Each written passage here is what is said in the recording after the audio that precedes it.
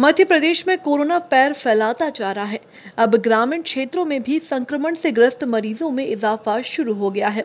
शाजापुर क्षेत्र के काला पीपल में कांग्रेस विधायक कुणाल चौधरी के कोरोना संक्रमित होने की खबर मिली है। कांग्रेस विधायक कुणाल चौधरी के कोरोना संक्रमित होने की क्षेत्र में फैली खबर के बाद हड़कंप मचाया हुआ है। कांग्रेस विधायक कुणाल चौधरी कुछ दिन पूर्व ही पूर्व मंत्रियों के मीटिंग में शामिल हुए थे। प्रशासन जाँच में जुटा है कि वे किन किन से मिले थे। आपको बता दें कि मध्य प्रदेश में कोरोना संक्रमित का आंकड़ा लगातार बढ़ता ही जा रहा है। ऐसे में काला पीपल विधायक कुणाल चौधरी कोरोना संक्रमित पाए गए हैं। जो कि एक चिंता का विषय है। कुणाल चौधरी के होने वाले सभी कार्यक्रम रद्द कर दिए गए हैं। चर्चा है कि कई पूर्व मंत्री कोरोना की चपेट में आ सकते हैं। कोविड के इस भयंकर महामारी के दौर में लोगों के संकट के बीच में काला पीपल विधानसभा में, जिस ऐतिहासिक रूप से अन्न सेवा समिति ने कार्य किया।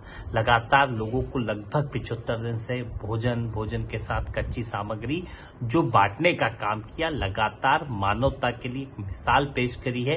मैं बधाई देना चाहूँगा अन्न सेवा समिति को, जिन्होंने बेहतर रूप से, बेहतर परिणामों से, सकारात्मकता के साथ इस कार्य को किया, इस अच्छे कार्य के लिए सभी समिति के सदस्यों को बधाई, क्योंकि मानव ही मानव के काम आता है। और मानवता की इस बात को जो उन्होंने दिखाने का काम किया, मानवता को करने का काम किया, और गरीब मजदूरों तक रसद पहुँचाने का काम किया। इसके लिए मैं वापस पुनः अपनी विधानसभा काला पीपल की अन्य सेवा समिति को बहुत बधाई, बहुत शुभकामनाएँ, और उम्मीद करता हूँ कि लगातार इसी तरह आगे भी लोगों की सेवा में बढ़ चढ़ के काम करेंगे। बहुत बहुत बधाई, धन्यवाद।